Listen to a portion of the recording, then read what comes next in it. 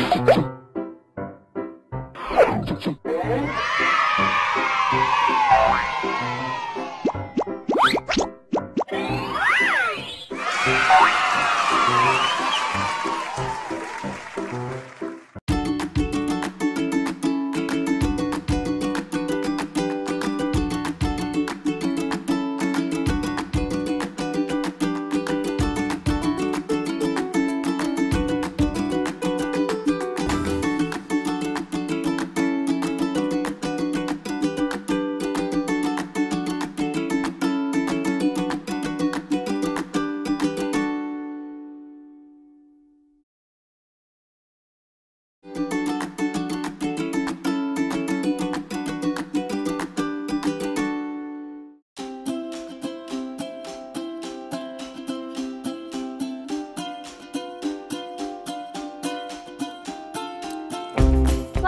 Teman-teman kelas 5 di seluruh Nusantara.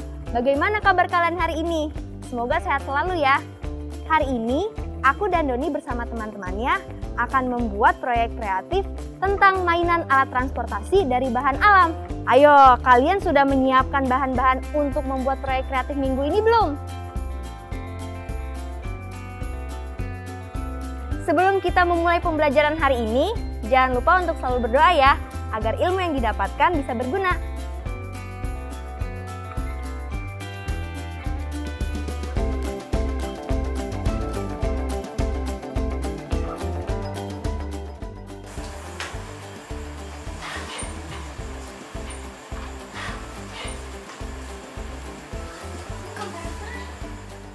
Doni, Melati, dan Wahyu sedang membuat proyek kreatif bersama. Teman-teman kelas 5 pasti juga memiliki proyek kreatif yang sudah mulai dikerjakan sejak awal minggu kan? Apakah kalian sudah menggambar sketsa dan mencatat daftar bahan dan alat yang dibutuhkan? Bagaimana persiapan kalian? Kalian bisa melihat tabel dan sketsa berikut apabila kalian mengalami kesulitan dalam mempersiapkannya. Jangan lupa juga untuk menuliskan rencana kalian agar tidak lupa langkah-langkah yang harus dilakukan kalian bisa mencontoh tabel berikut. Oh iya, kalian bisa meminta bantuan orang tua dan wali kalian di rumah apabila kalian mengalami kesulitan. Nahkoda Pantai Barat ditulis oleh Ivan Adila, diilustrasi oleh Mita Indriani, diterbitkan oleh Kemendikbud 2018. Pariaman pada akhir abad ke-19 adalah bandar perdagangan yang ramai kapal dagang dari berbagai negeri berlabuh di pantainya. Ada kapal dari Aceh, Sibolga, Bugis, Pulau Penang, hingga India, Cina, bahkan Eropa. Kapal-kapal dagang itu membawa aneka barang untuk diperdagangkan ke berbagai daerah di Minangkabau, sejak dari ikan kering, garam, papan, tekstil, keramik, hingga perhiasan. Pulangnya, kapal asing itu memuat kopi, lada, emas, dan barang hasil hutan untuk dibawa ke negeri mereka. Karena setiap hari berjualan dekat pantai, Saleh sudah biasa melihat kapal-kapal besar bersandar di pelabuhan. Kadangkala ia berjalan ke pantai untuk menyaksikan berbagai barang yang diturunkan dari kapal. Setelah melihat barang beraneka jenis itu, Saleh bertanya dalam hatinya, dari negeri manakah semua barang itu dibawa? Seperti apakah negeri asing tempat barang-barang itu? Berapa lama kapal itu berlayar dari negeri asalnya? Aku ingin berlayar, akan tetapi bagaimana caranya? Tak mudah menjadi awak kapal dagang. Ia harus kuat dan mengerti tentang cuaca dan angin. Tiap kapal dipimpin oleh nahkoda. Seorang nahkoda harus pintar berdagang juga harus bisa baca tulis dan berhitung. Nah, kodalah yang menentukan harga barang yang dibawa, juga barang yang akan dibeli dari pelabuhan lain. Semua jual beli itu harus dicatat. Bukankah Saleh bisa tulis, baca, dan berhitung? Ia juga mempunyai pengalaman berjualan ikan kering. Akan tetapi, ke mana ia akan berlayar? Tanpa diduga, kesempatan itu datang ketika Saleh sedang memandang laut lepas di pantai sore hari. Lewat kakak tirinya bernama Saat Tuangku Mangguang Randa. Apa pekerjaan kau gini? Kulihat kau indak menghela pukat lagi. Saya sekarang berjualan ikan kering, Kak.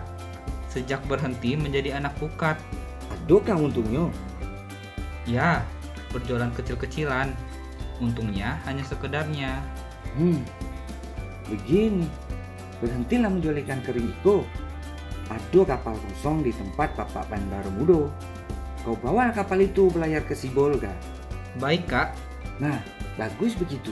Berjualan ikan kering ini berapa lo untungnya? Akal pun tidak bertambah dengan berjualan keliling kampung. Saleh mengangguk dengan bersemangat. Keduanya bersepakat untuk mengunjungi rumah Bandaro Mudo malam itu juga. Pada pertemuan malam harinya, saat memperkenalkan Saleh kepada Bandaro Mudo, pedagang dan pemilik kapal. Bandaro Mudo kemudian memberitahukan bahwa barang yang akan dimuat ke atas kapal adalah beras sebanyak 150 pikul. Juga ditunjukkannya barang apa yang akan dibeli dan dibawa dari Sibolga. Paling penting, Saleh diberitahu siapa yang harus ditemui di Sibolga, serta aturan berdagang di sana. Sementara itu, saat mencatatkan berbagai kebutuhan untuk berlayar. Yang paling penting, tentu saja, jurumudi dan awak kapal. Besok pagi, kau lihatlah kapal itu di pantai. Setelah itu, cari jurumudi dan awak kapal agak dua orang. Nah, jika sudah ada jurumudi dan awak kapal, kembali ke sini dan ambil uang untuk membeli beras. Hampir saja Saleh tak bisa tidur malam itu. Hatinya girang karena akan berlayar. Di sisi lain, ia juga gelisah karena akan membawa banyak barang. Bagaimana kalau dirampok orang? Atau uangnya tercecer? Atau kapal terbalik dan semua barang lenyap di laut? Hmm, kalau rugi bagaimana? Apakah saya akan dimarahi? Meskipun sudah jauh berlayar. Beragam pertanyaan berkeliaran di pikiran Saleh. Menjelang subuh, barulah akhirnya ia tertidur. Pagi harinya, setelah sarapan, Saleh segera menuju pantai untuk melihat kapal milik Bandaru Mudo. Setelah diperiksanya kapal itu, ia segera menuju sebuah warung tempat biasa berkumpul anak kapal. Menjelang siang, awak kapal dan jurumudi berhasil didapatkan. Saleh segera menuju rumah Bandaru Mudo untuk mengambil uang.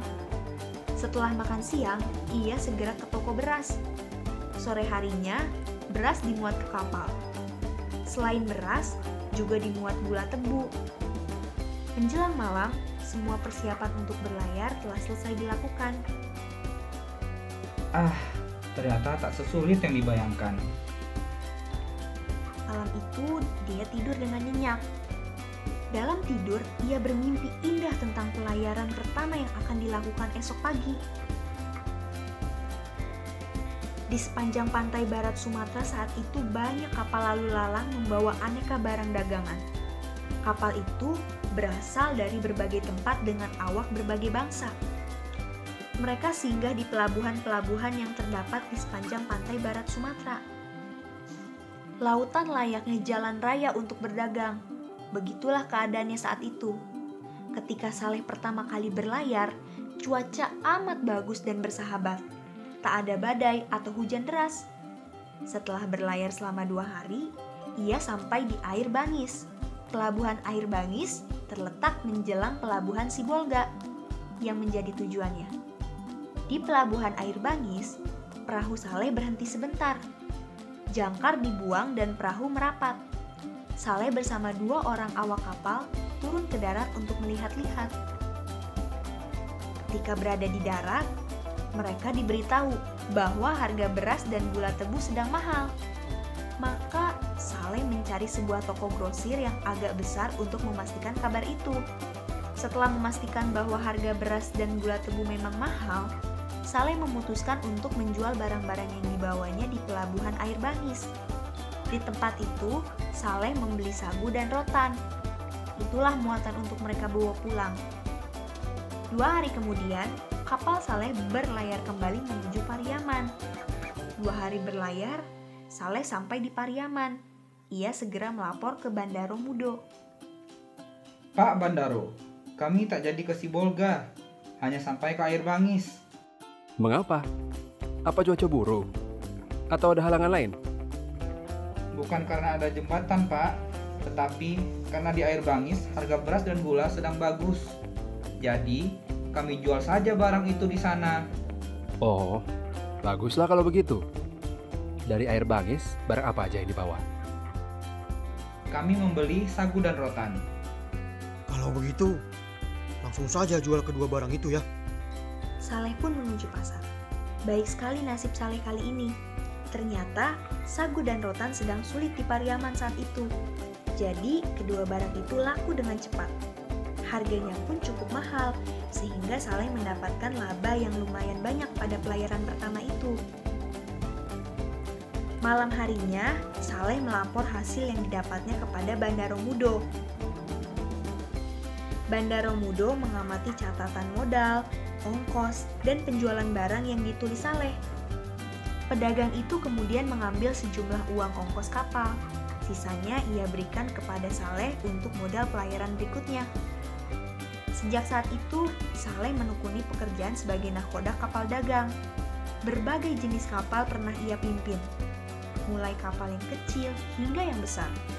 Dengan kapal itu, ia mengarungi lautan, menyinggahi banyak pelabuhan, dan pulau di sepanjang pantai barat. Berbagai pengalaman menarik dialami Saleh selama menjadi nahkoda.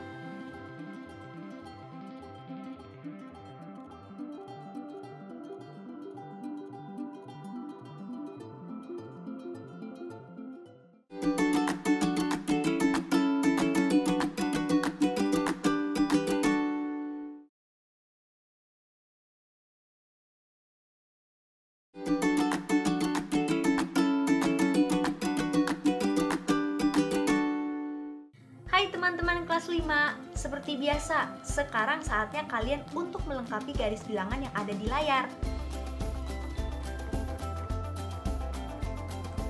Di manakah letak bilangan-bilangan berikut pada garis bilangan di atas?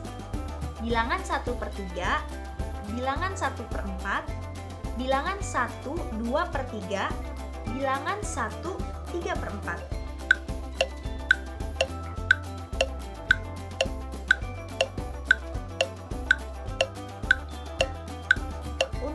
Mengetahui letak bilangan 1 per 3, yuk kita gambar garis bilangan senilai di bawahnya. Gambar garis bilangan pecahan per 3. Titik 0 senilai dengan 0 per 3. Titik 1 senilai dengan 3 per 3. Titik 2 senilai dengan 6 per 3. Di antara bilangan 0 dan 1 terbagi 3 adalah titik 1 per 3 dan 2 per 3. Berikutnya, di antara bilangan 1 dan 2 terbagi 3 adalah titik 4 per 3 dan 5 per 3. Maka, bilangan 1 per 3 terletak di antara bilangan 0 dan 1. Selanjutnya, untuk mengetahui letak bilangan 1 per 4, yuk kita gambar garis bilangan senilai di bawahnya. Gambar garis bilangan pecahan per 4. Titik 0 senilai dengan 0 per 4. Titik 1 senilai dengan 4 per 4. Titik 2 senilai dengan 8 per 4. Di antara bilangan 0 dan 1 terbagi 4 adalah titik 1 per 4, 2 per 4, dan 3 per 4.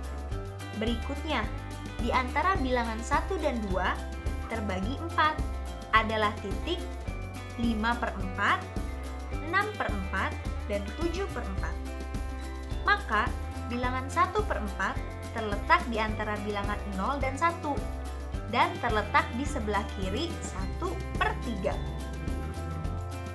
Bilangan berikutnya adalah 1, 2 per 3. Artinya, ia berada di antara angka 1 dan 2 di titik pecahan kedua. Atau jika diubah dalam bentuk pecahan biasa menjadi 5 per 3. Kita lihat letaknya pada garis bilangan pecahan per 3 berikut. 1, 2 per 3 sama dengan 5 per 3. Bilangan berikutnya adalah 1, 3 per 4. Artinya, ia berada di antara angka 1 dan 2 di titik pecahan ketiga. Atau, jika diubah dalam bentuk pecahan biasa menjadi 7 per 4. Kita lihat letaknya pada garis bilangan pecahan per 4 berikut. 1 3 per 4 sama dengan 7 per 4. Kalau kita lihat dari hasil di layar, berarti letak yang benar pada garis bilangan adalah pada garis bilangan berikut.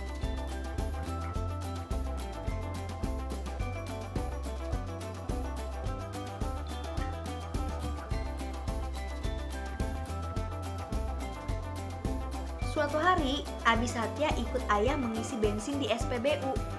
Mau diisi Pertamax atau Pertalite? Pertalite saja, Pak. Yang penuh ya. Apa bedanya Pertalite dan Pertamax ya? Mengapa ayah memilih Pertalite? Kamu harus tahu, Abi, di Indonesia ada banyak jenis bahan bakar minyak. Untuk sepeda motor contohnya. Umumnya yang populer adalah premium, pertalite, dan pertamax. Salah satu perbedaan di antara ketiganya adalah bilangan oktan yang berbeda-beda dari masing-masing bahan bakar tersebut. Ya, itu tadi percakapan Abi dan ayahnya tentang bilangan oktan pada bahan bakar kendaraan bermotor. Di Indonesia, bilangan oktan disebut juga dengan Research Octane Number atau RON. RON merupakan perbandingan antara kandungan oktana dan heptana pada bensin. Makin tinggi kandungan oktana, makin bagus kualitas bensin. Premium memiliki RON 88, artinya 88% kandungan adalah oktana dan 12% sisanya adalah heptana. Seandainya kandungan oktana dan heptana pada premium bisa dipisahkan dan dibagi ke dalam 100 wadah, maka oktana akan menempati 88 bagian, sedangkan 12 bagian ditempati oleh heptana. Pertalite memiliki RON 90, artinya 90% kandungannya adalah oktana dan 10% sisanya adalah heptana. Adapun Pertamax memiliki RON 92, artinya 92% kandungannya adalah oktana dan 8% sisanya adalah heptana. Ayah Abi Satya memilih Pertalite karena RON-nya lebih bagus dari premium dan harganya lebih murah dari Pertamax. Harga bensin naik, antrian SPBU mengular. Tahukah kalian, harga bahan bakar minyak di Indonesia sudah ditentukan oleh pemerintah, termasuk harga premium. Harga naik dan turunnya disesuaikan dengan harga minyak dunia. Berikut adalah grafik perubahan harga premium dari Oktober 2014 hingga Juni 2016. Kamu bisa menghitung persentase kenaikan atau penurunannya berdasarkan grafik tersebut. Ayo kita coba hitung bersama. Perhatikan periode Oktober 2014 sampai November 2014. Terjadi kenaikan di sini. Harga premium semula Rp6.500, naik menjadi Rp8.500. Kita hitung berapa persentase kenaikannya. Kita tahu, besar kenaikannya adalah 8.500 dikurangi 6.500 sama dengan 2.000. Rumus persentase kenaikan sama dengan kenaikan atau penurunan dibagi harga awal dikali 100%. Sekarang kita masukkan angkanya ke rumus. Persentase kenaikan sama dengan kenaikan harga, yaitu 2000 per harga awal yaitu 6500 dikalikan 100%. Pada bilangan pecahan, pembilang dan penyebut sama-sama dibagi 500, sehingga didapatkan 4 per 13 dikali 100% sama dengan 400 per 13%. Nah, sekarang kita bagi 400 dengan 13 dengan cara pembagian bersusun. Sehingga hasilnya ialah 30,769 atau dibulatkan menjadi 30,77 persen. Jadi, kenaikan BBM pada November 2014 sebesar 30,77 persen. Coba untuk pelatihan kalian bisa melengkapi isian pada tabel berikut ini. Pertama, Pak, 20.000. Dari nol ya Pak. Ketika membeli bensin di SPBU, sering kali pembeli menyebutkan nominal angka rupiah bulat yang ingin ia bayarkan. Misalnya Pertalite 10.000 atau Pertamax 20.000 dan sebagainya. Kemudian, petugas akan langsung menekan angka 20.000 pada mesin dan menarik nozzle untuk memulai pengisian. Apakah kalian bisa hitung berapa liter yang akan ayah Abi dapatkan dengan membeli Pertamax seharga Rp20.000? Kita bisa hitung dengan rumus berikut. Banyaknya bahan bakar sama dengan uang yang dibayarkan dibagi harga jual per liter. Kita masukkan angkanya ke rumus ya banyaknya Pertamax sama dengan uang yang dibayarkan yaitu 20.000 dibagi harga jual Pertamax per liter yaitu 9.000. Pembilang dan penyebut pada pecahan sama-sama kita bagi dengan 1.000. Maka kita hilangkan tiga angka 0 di belakangnya menjadi 20 per 9 sama dengan 2,22. Jadi dengan Rp20.000 ayah Abi mendapatkan Pertamax sebanyak 2,22 liter. Teman-teman, lihat mobil-mobilan yang sedang dibuat oleh Doni, Melati, dan Wahyu sudah hampir jadi. Bagaimana dengan mainan yang kalian buat? Setelah mainan yang kalian buat selesai, jangan lupa mengisi laporan ya. Supaya lebih mudah membuat laporan, kalian bisa menjawab terlebih dahulu soal-soal berikut ini. Yang pertama, Ceritakan secara singkat proses yang kamu lakukan dalam pembuatan mainan ini. Apakah mudah, sulit, mengasyikkan, membosankan, atau yang lain? Yang kedua, ceritakan secara singkat cara yang kamu gunakan untuk membuat mainan tersebut dapat bergerak. Yang ketiga, ceritakan secara singkat tentang perbandingan gerakan beberapa mainan yang sudah kamu buat. Dan yang keempat, gambar dan tuliskan banyaknya bahan yang akhirnya kamu pergunakan. Tuliskan pula banyaknya bagian atau potongan yang kamu buat dari bahan tersebut. Kalau sudah membuat laporan, bisa kalian tunjukkan pada orang tua atau wali kalian ya. Refleksi. Wah, tak terasa ya kita sudah ada di penghujung pembelajaran hari ini dan selesai pula pembelajaran minggu ini. Tapi sebelum itu, cobalah merefleksi pembelajaran hari ini dengan menjawab soal berikut. Hitunglah banyaknya bahan bakar yang diperoleh jika membayar sejumlah uang berikut. Ingat, kalian bisa gunakan rumus yang telah kita pelajari tadi. Nah, apabila kalian sudah selesai menghitung, kalian bisa mencocokkan jawaban kalian dengan jawaban yang ini ya.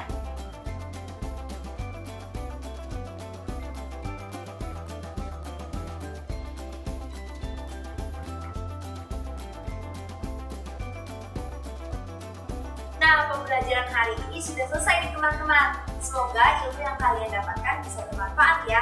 Sampaikan salamku untuk orang tua dan wali kalian di rumah. Tetap sehat dan semangat. Sampai jumpa minggu depan. Dadah!